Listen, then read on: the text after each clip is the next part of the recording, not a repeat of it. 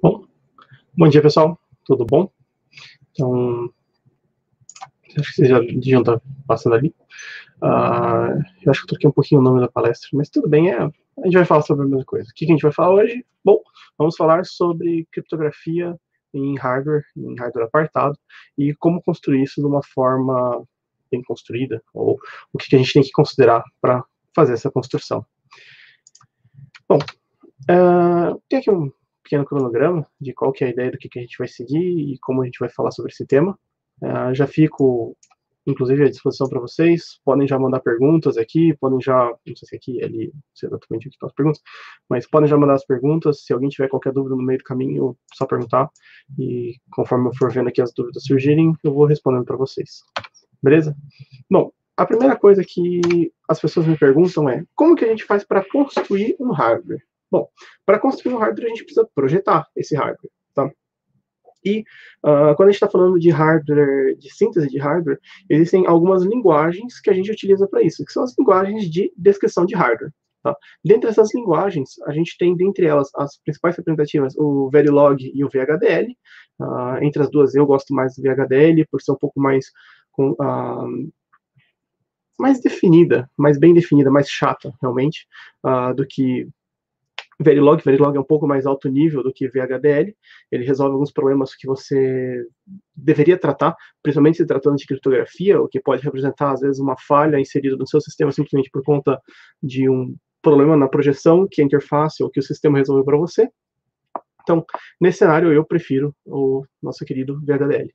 Tá? Existem outras linguagens, HDL, um monte de outras linguagens da, proprietárias, linguagens livres, mas dentre elas as duas principais são essas. A gente tem compilador de Python para hardware, tem compilador de C para hardware, tem compilador de OpenGL, então todas essas, essas coisas acontecem também, mas quando a gente está falando uh, de hardware propriamente dito, de síntese de hardware, a gente está falando dessas duas linguagens aqui, tá? Então, Verilog e VHDL.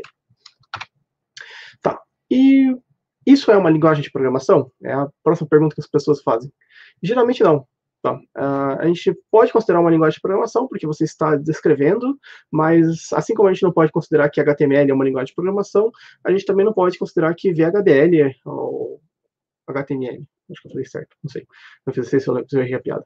Uh, pode ser uma linguagem de programação ou não. Por quê? Porque ela é uma linguagem de descrição de hardware. Ela não programa nada, ela descreve um conjunto de funcionalidades, e esse conjunto de funcionalidades vai ser sintetizado por um software mais para frente, e esse software que sintetiza esse conjunto de funcionalidade vai gerar o nosso hardware propriamente disso, nosso módulo de hardware. Tá? Uh, coisas importantes para saber quando a gente está fazendo esse tipo de desenho. Tá? Quando a gente está fazendo um desenho de hardware é, todos os processos acontecem ao mesmo tempo. Então, se você tem lá, por exemplo, A recebe 2, B recebe A mais 2, A mais 1, tá? O, o B pode receber tanto o valor que estava em A, pode receber 2, quanto pode receber 2 mais 1. Porque essas duas linhas de código acontecem simultaneamente, essas duas, essas duas sequências, duas instruções acontecem no mesmo instante de tempo, ao mesmo tempo, e sempre estão acontecendo dentro daquele hardware. É, então a gente não tem uma cadência de eventos. Se a gente quiser uma cadência de eventos, porque tem pessoas que realmente querem uma cadência de eventos, aí a gente pode utilizar uma máquina de estados para isso, certo? Bom, como que a gente inicia para a construção do nosso hardware apartado? A primeira coisa é definir o que, que a gente quer fazer. Então, no caso aqui dessa palestra, como a gente não pode definir o que a gente quer fazer o mundo, a gente quer fazer um processo de criptografia. Tá? A gente vai definir qual que é a nossa arquitetura. Bom, a minha arquitetura, eu quero fornecer a informação, a informação a ser criptografada, eu quero fornecer a chave de criptografia e eu quero obter a minha informação criptografada. Então, essa é a arquitetura. Pode ser bem caixa preta mesmo. Eu tenho dois sinais de entradas, eu tenho um aviso dizendo que a minha entrada está carregada, eu tenho um bloco, um bloco de processamento e uma saída e um sinal me avisando que a minha saída foi processada, finalizou o processamento. Tá? Então, como arquitetura para iniciar, serve isso daqui. Depois a gente vai abrindo isso daí e vai uh, vendo quais são os módulos internos desse, desse sistema. Tá? Depois, a gente precisa saber qual que é a base matemática que a gente está utilizando. A gente está trabalhando em cima de números primos, a gente está trabalhando em números binários, a gente está trabalhando em corpos finitos, a gente está trabalhando com matrizes. Então, qual é a base matemática que a gente está trabalhando? Porque essa base matemática a gente vai ter que implementar. isso sem chance de dúvidas. Tá? Uh, qual que é uma das vantagens, por exemplo, de criptografia quando a gente está falando de base matemática? Eu estou trabalhando com números primos. Tá? O computador hoje que a gente tem é quantos? É 32, 64 bits. Criptografia, bom, criptografia a gente está falando de 128, 256, 512. Então, o computador não consegue processar em um único ciclo esse conjunto todo. Ele teria que fazer vários ciclos para realizar uma etapa de processamento. Sendo que a gente está descrevendo um hardware, a gente pode chegar lá e construir um hardware que vai fazer uma soma de dois números de 2.000 bits. E é, não é problema. Ah, de quantos bits é o seu processador? 2.000 bits o conjunto de instrução, ou o tamanho da palavra de instrução dele. Então, isso é possível. Tá? Uh, outra dica para quem quer iniciar, use um simulador. Tá? FPGA, as plaquinhas são muito legais, também gosto muito das plaquinhas, mas o simulador é a melhor mão na roda, ele é gratuito, ele funciona, tá? E para a maioria das pessoas é um bom passo inicial instalar um simulador e começar a sintetizar, um sintetizador, na verdade, e começar a sintetizar com ela. Tá? Geralmente dentro do sintetizador já tem todas as ferramentas embutidas ou, aparta, ou conexões para isso. E o outro ponto importante de como iniciar é tendo muita paciência. Tá? Uh, é um, uma arquitetura nova, é um sistema novo, é, a, é um jeito de programar diferente, tá? E também é um jeito que é uma coisa que demora muito para compilar e ou sintetizar, melhor dizendo, né? Como a gente está falando de hardware.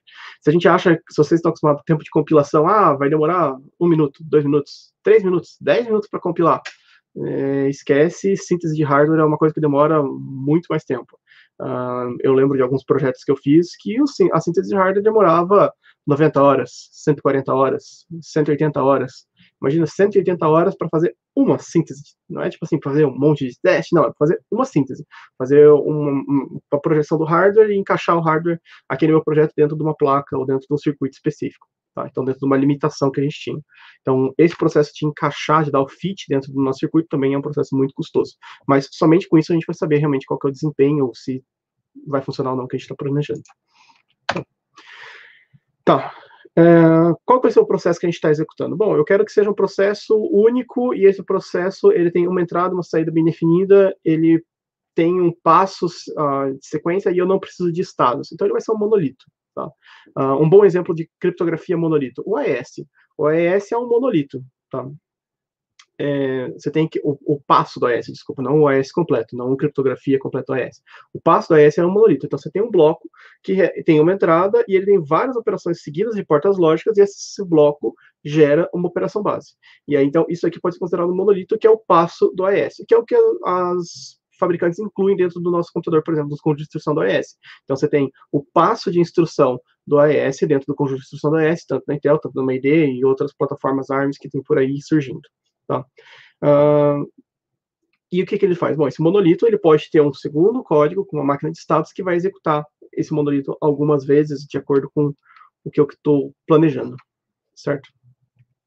E para uma máquina de status, o que, que a gente precisa saber? Bom, a gente precisa saber qual que é o ponto de entrada, o que, que eu preciso ter no ponto de entrada e o que eu preciso ter no ponto de saída. E aí os estados intermediários? Bom, os estados intermediários a gente vai construindo conforme a necessidade.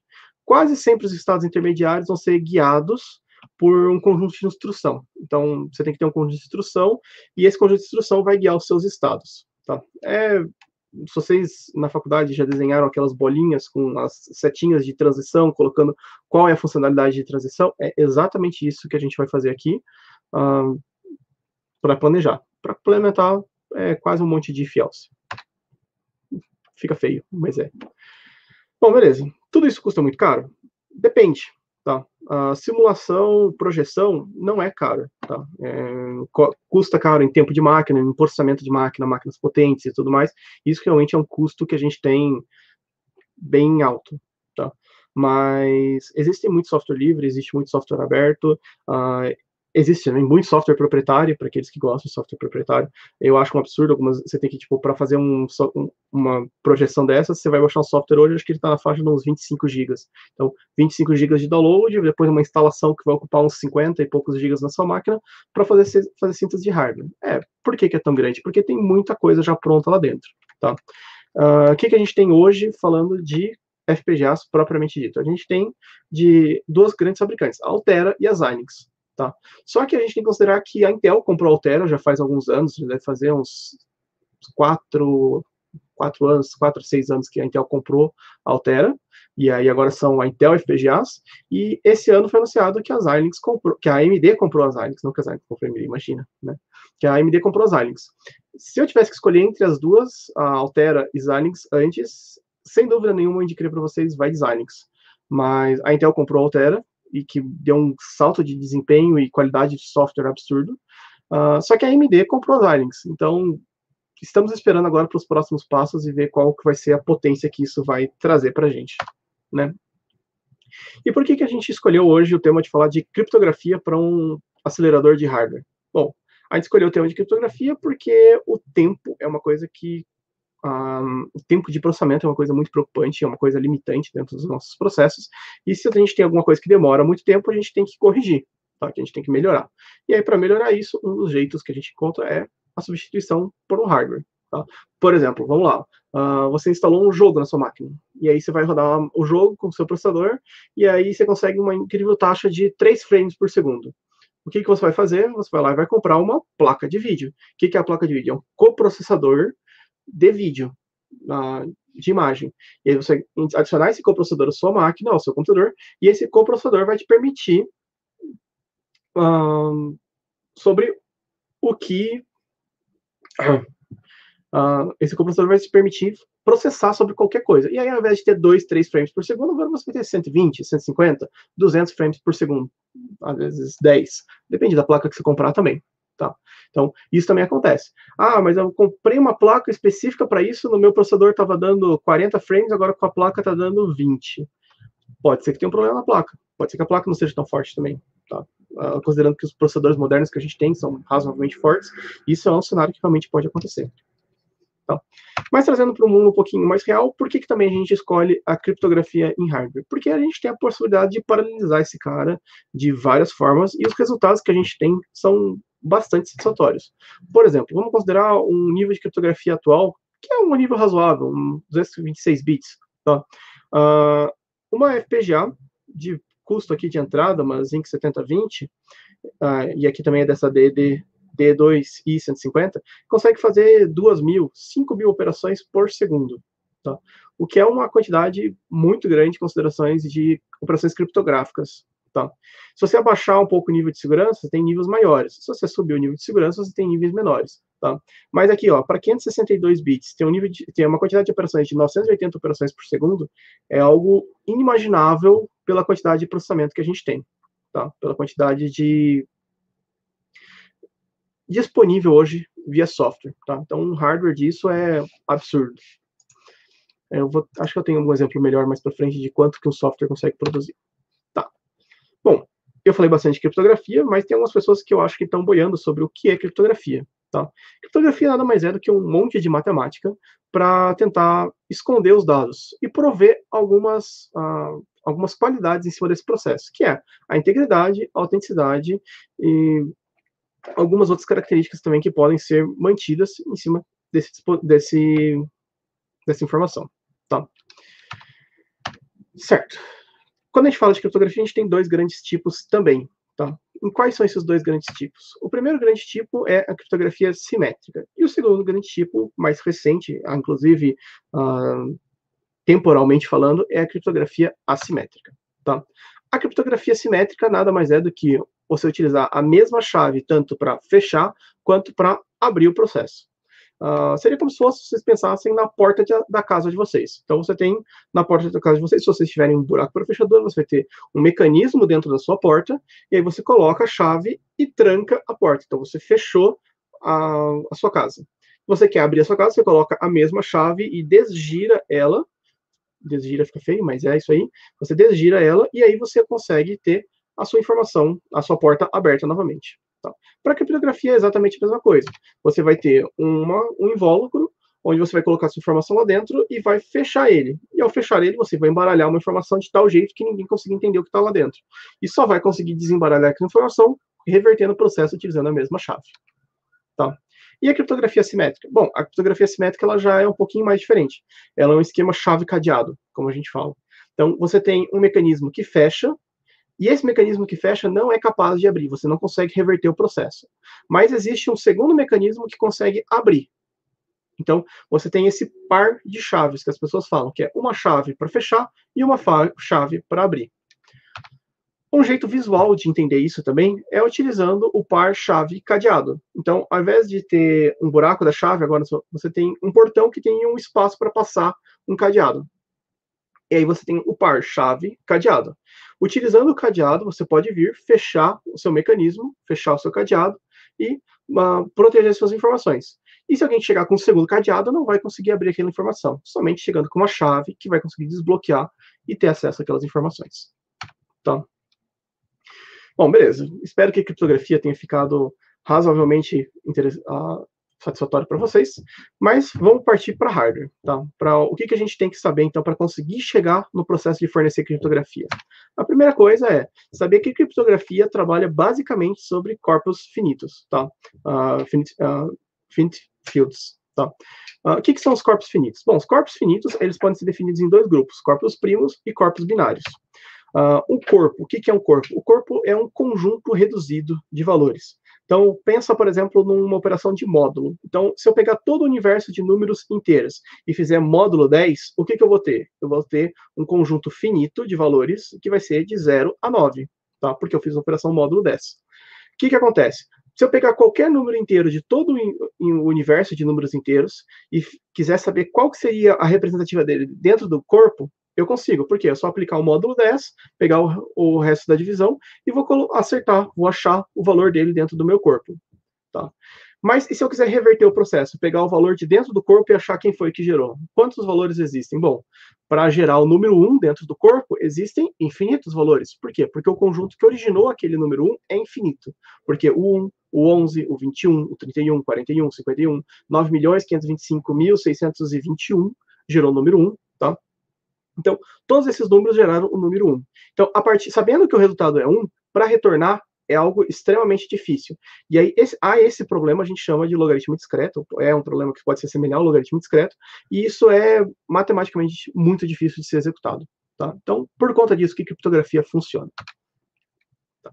Se a gente tiver um primo, a gente geralmente está falando de primos grandes. A gente não está falando de 3, 5, 7, tá? A gente está falando de um número primo semelhante a esse cara aqui embaixo que está em hexadecimal. Tá? Então a gente tem esse FFFFFFF, muitos Fs ali, e FFFF, C2F. Tá? Tudo isso daí é um único número primo, e esse um único número primo é o utilizado, por exemplo, na curva elíptica SECP 256K1, tá? que nada mais é do que a curva elíptica que está por trás do Bitcoin. Então, o Bitcoin, ele é baseado em, aritmética sobre corpos finitos, e cujo polinômio, ou cujo o módulo que está sendo aplicado é em cima deste número primo aqui. Tá? Que é bastante legal também de saber e se conhecer. Tá? E os binários? Bom, os binários eles são muito parecidos, ou têm a mesma ideia por trás, só que eles têm vantagens de ser números binários. Tá? E aí, quando a gente está trabalhando, ao invés de trabalhar com números inteiros, com as operações inteiras, a gente está trabalhando com números binários e operações binárias. Tá? E acaba que a gente tem também a operação de soma, subtração, multiplicação, divisão e todas essas coisas em cima dos números binários. Como que ficaria o hardware desse processo? Bom, como eu comentei, a gente precisa primeiro saber o que, que a gente quer fazer. Então vamos dizer que eu quero fazer um protocolo de assinatura assimétrica, de criptografia assimétrica. Então, a primeira coisa que a gente saber é o protocolo. Eu defini que meu protocolo vai ser uma curva elíptica. Vou definir qual é a curva elíptica que eu quero trabalhar. Então, vou chegar lá e vou definir que eu quero a curva elíptica X. Tá? Dentro dessa curva elíptica, eu tenho que entender qual que é a operação básica dela. Bom, se eu estou querendo fazer uma operação de assinatura em cima de curva elíptica, eu vou estar utilizando o ponto por multiplicação. Tá? Então, eu vou fazer uma multiplicação de ponto por escalar. E essa é a operação básica de assinatura dentro de uma curva elíptica. E o que, que é essa operação de ponto por, uh, por escalar? Essa assinatura de ponto por escalar nada mais é do que um monte de adição e dobro de pontos que vão sendo executados de tal forma a gerar essa multiplicação de ponto por escalar. E essa soma e adição de pontos e duplicação de pontos, como que funciona? Bom, aí você tem já direto a matemática de corpos finitos embaixo dela, e esse é por onde a gente vai começar. Então, se eu quero chegar no meu protocolo, eu tenho que começar pela aritmética dos corpos finitos.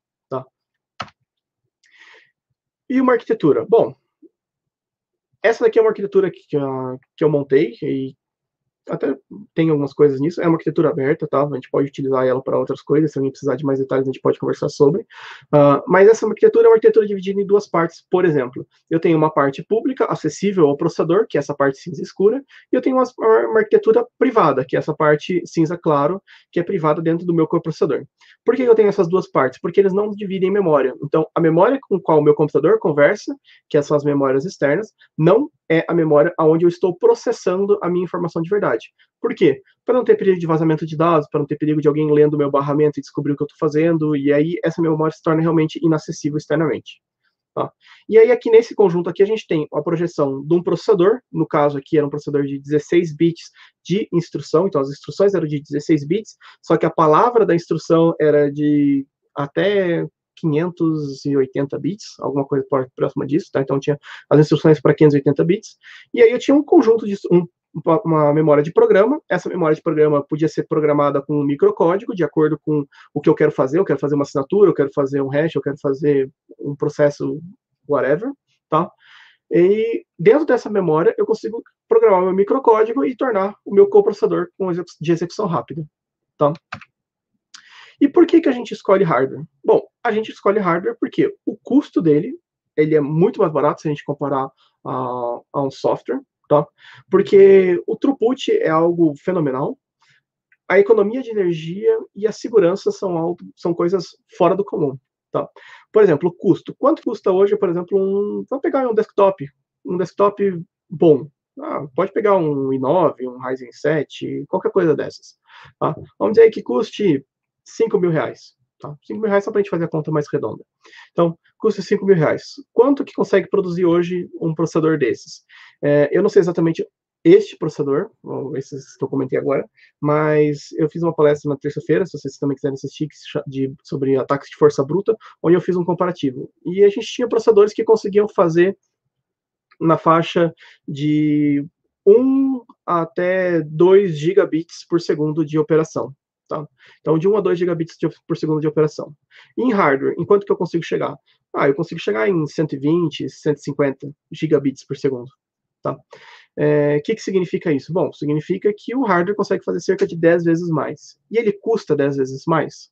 Não, ele não custa 10 vezes mais. Esse 10 foi, tipo, um exemplo para um single core dentro do hardware, tá? Existem placas que você consegue colocar múltiplos core dentro, e aí cada core que você vai adicionando de criptografia ou de processamento, você vai ganhando. Pensa, por exemplo, ah, quantos, ah, pegando no exemplo da NVIDIA, quantos CUDA core hoje tem dentro de uma placa de vídeo, tá? Tem um monte de CUDA cores. Por quê? Quanto mais CUDA cores, mais processamento ela consegue fazer, tá? E como que a gente escolhe hardware? Bom, a gente escolhe hardware basicamente com o que a gente quer fazer. A gente quer um dispositivo de baixo custo ou a gente quer um dispositivo de alta potência.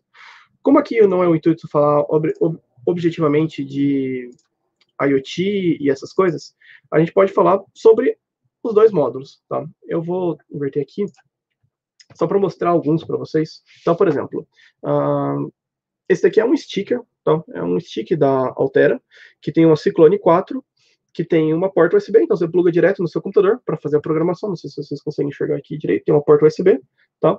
Tem uma porta de rede e tem uma outra interface aqui proprietária da Altera. Você consegue utilizar ela para fazer programação. É uma boa pra, placa para começar? É, é uma boa placa para começar. A gente realmente consegue fazer muita coisa com ela. Ah, outras boas placas. Bom, aqui eu quero ir para as Xilinx, então, já que eu gosto da AMD, eu quero ir para as Xilinx porque possivelmente o suporte vai ficar melhor. Então aqui eu tenho uma Spartan 3, uh, razoavelmente pequena a placa. Tá? Essa daqui é realmente para aprendizado, para alguma aplicação de sistema embarcado que você está querendo começar. É uma ótima placa para começar a brincadeira. Tá? Ah, eu quero uma placa realmente para colocar no dispositivo, eu quero colocar numa máquina industrial que vai fazer muito processamento e eu quero ter algo realmente mais forte, mais potente. Bom, aí eu recomendo esse brinquedinho aqui, que é a 96, é, 96 BART. É uma placa da Xilinx que vem com uma Zinc Ultra Scale aqui embaixo. É a mesma placa que o Medog está usando num dos projetos dele que está fazendo lá com, LC, com LSI na USP. Então, é uma placa muito boa, com um poder de processamento realmente absurdo e muito barata pela potência que ela pode trazer. Tá? Para quem quiser brincar com outras coisas também, tem STR, ah, e eu não quero brincar com essas plaquinhas, né? meu, meu interesse não é plaquinha, não quero fazer IoT, eu quero realmente ter potência para um servidor. Bom, quero ter potência para servidor, a gente tem placas para servidor, tá? Então, aqui embaixo tá embaixo desse cooler aqui tá, tá a FPGA propriamente dito. A FPGA ela tem módulos de memória para ela, tem conexão para fibra ótica, porta 10 GB. Então Aqui você consegue plugar isso aqui no PCI Express, uh, pelo tamanho desse cara aqui deve ser um X8, então você tem oito linhas PCI Express, e você pode ter oito processos individuais, cada um trabalhando em cima de uma linha de processamento, e ser feliz com essa placa aqui. Tá? Uh, essa aqui eu utilizei para criptografia, dentro dela, se eu não me engano, a gente conseguiu colocar, eu acho que foram 20 ou 23 núcleos de processamento com paralelismo. Então, aqueles núcleos que eu comentei que cada um estava fazendo uh, 5 mil operações, essa placa acho que estava com esse daí que era maiorzinho. Então, fazendo 5 mil operações por núcleo, se eu tinha 20 núcleos, eu estava fazendo 100 mil operações por segundo utilizando uma placa dessa daqui. Ah, é muito? Ah, não sei, um i7 faz 200, 350. Então, é tipo, é bastante coisa, tá? Uh, voltar aqui para os slides, beleza? Tá. Bom, é, como a gente não tem mais muito tempo, eu pular aqui para módulos. Então, na, como que a gente faz para construir tudo isso? A primeira coisa é olhar e entender como que a arquitetura vai funcionar por baixo da matemática. Então, eu coloquei aqui um exemplo de uma operação de adição, nada mais é do que um short quando a gente está falando de números binários. Uh, eu coloquei uma operação de redução, tá? que nada mais é do que fazer o, o, o módulo, tá? A multiplicação, que é um pouquinho mais complexa, mas que essa multiplicação você consegue também uh, fazer um processo semelhante a um shift and, and né, que o pessoal fala. Então, você vai fazendo shifts simultâneos, ou múltiplos shifts sequenciais e fazendo reduções sequenciais, e você consegue ter um hardware compacto para realizar isso. Tá? Uh, esse hardware aqui também é facilmente paralelizável, e você consegue fazer vários processos ao mesmo tempo, o que, no final das contas, é, traz um desempenho bem legal. Uh, eu tinha uns trabalhos sobre isso, inclusive.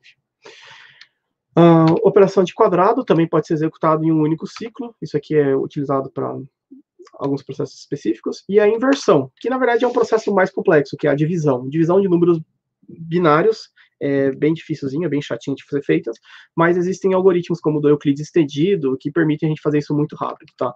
Uh, Itotsuji, por exemplo, é um cara que fez um método de realização de inversa que é bem eficiente, inclusive, que é o método que eu mais gosto de utilizar, tá?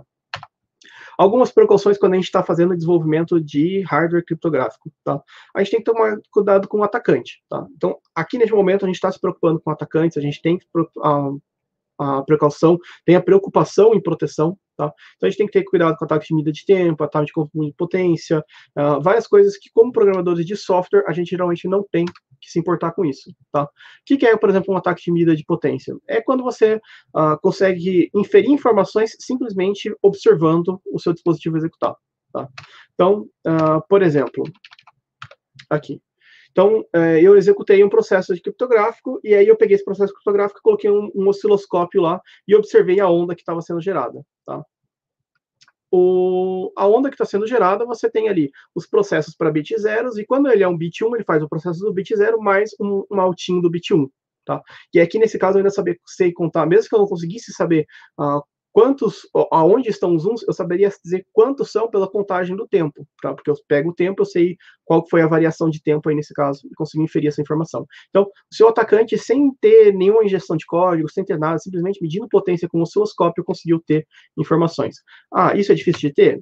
Um pouco. Se você tem que considerar, essa curva, ela tá, tipo, quando você pega um voltímetro, é, o voltímetro vem, sobe, e é que é essa oscilação que a gente está observando ali. Tá? E é em cima dessa observação que a gente consegue tirar algumas coisas. Ah, e tem outros ataques uh, mais sofisticados? Existem. Por exemplo, existe esse ataque aqui do Pollard Hole, que é um ataque feito para algumas curvas específicas, e essas curvas permitem, uh, esse ataque permite encontrar subgrupos e obter informações dessas curvas. Tá? Bom, fica aqui o convite também para vocês, ou para vocês voltarem na, no dia 2, na terça, acho que foi terça-feira, eu não sei nem que dia é hoje, então, dia 2, hoje é dia 4, só sei disso. E aí, lá a gente teve uma palestra sobre força bruta e eu comentei, tirando essa parte de proteção, então, esquece proteção, o nosso objetivo é ter o maior desempenho possível. E aí, quando a gente quer ter o maior desempenho possível, o céu é o limite, ser feliz, tá? Uh, eu deixo aqui também meu contato, uh, meu e-mail e meu LinkedIn, podem me mandar mensagem por lá que eu com certeza vou responder e ajudar vocês no que precisar. Eu vi que tem algumas perguntas aqui no chat, deixa eu dar uma olhada. Uh, boa tarde. Para realizar a gravação do código nessas placas, qual ferramenta utiliza? Então, nessas placas aqui, todas que eu mostrei, no caso, todas elas são proprietárias. Então, você tem que utilizar ou a, a Xilinx, tá, o IZE ou o WebZe da Xilinx, e na Altera você tem o software da Intel FPGA. Depende da geração do, da FPGA, você vai ter softwares recentes ou vai ter softwares mais antigos, tá? Então, por exemplo, uma Cyclone 4, ela vai estar um pouquinho mais antiga, então vai ter a web, a web interface da Altera mesmo. Aí, a partir do Cyclone 5 ou Cyclone 10, a, já se chama Intel FPGAs, e aí o software da Intel FPGAs consegue dar suporte a todas elas. Tem software livre? Temos software livres, por exemplo, tem a AIS-40, que o Rafael acabou de colocar ali, apareceu uma pergunta dele, isso. Uh, é ótima essa plaquinha, ela é uma plaquinha bem básica, ela tem só mil unidades lógicas, ela é pequena, mas ela é ótima para começar. Ela é totalmente livre, ela tem um Open to Chain, na verdade, fizeram engenharia reversa na placa, e aí, a partir da engenharia reversa da placa, conseguiram puxar o to Chain dela e descobrir como fazer a programação e como fazer a gravação do circuito dentro dela, como fazer a sintetização, e desenvolveram uma plataforma com playground completo para ela. Então, você consegue ir desde o processo de pegar o seu VHDL até a gravação na placa, totalmente utilizando o open source. Tá? Uh, a ICE também, essa fabricante, a Latse, na verdade, uh, tem outras placas, além da ICE 40, que são placas maiores, que também tem Open to Chain. Ela pegou essa onda e resolveu surfar. Porque, tipo, ah, é que nem hoje eu queria lançar um processador. Vou competir com Intel e AMD? É, tipo, é difícil. Eu posso até lançar para um nicho específico de mercado, que era meio que a Lattice estava fazendo. E aí, de repente, alguém, ela olhou, assim, a onda do open source e falou, tipo assim, cara, isso aqui eu posso surfar. E aí ela lançou várias placas, vários módulos, abriu o touchchain delas, falou, ó, já que vocês já fizeram engenharia reversa, já tem algumas informações, vou fornecer, fornecer agora mais algumas informações para vocês poderem realmente ter acesso a isso daqui e fazer da melhor forma possível e compilar da forma correta, fazer a síntese considerando todos os benefícios que vocês podem ter da minha placa. Tá? Não são todas as FPGAs da Let's que tem Open2Chain, que você pode utilizar ferramentas open source, mas a IC40 é um ótimo exemplo de FPGA que você pode utilizar, fazer todo o processo nela utilizando uh, sistemas abertos. Tá? É, qual ferramenta utiliza? Já foi. Estou esperando do lado. É isso. Então, é isso aí. Bom, é, fico à disposição de vocês também. Qualquer dúvida que vocês tiverem, se alguém tiver alguma curiosidade sobre FPGA, tiver algum trabalho que estiver pensando em fazer, uh, só manda mensagem. É, FPGA é uma coisa que eu gosto muito, tenho bastante interesse e sempre gosto de ajudar o pessoal. Então, valeu aí, pessoal. Bom evento para vocês.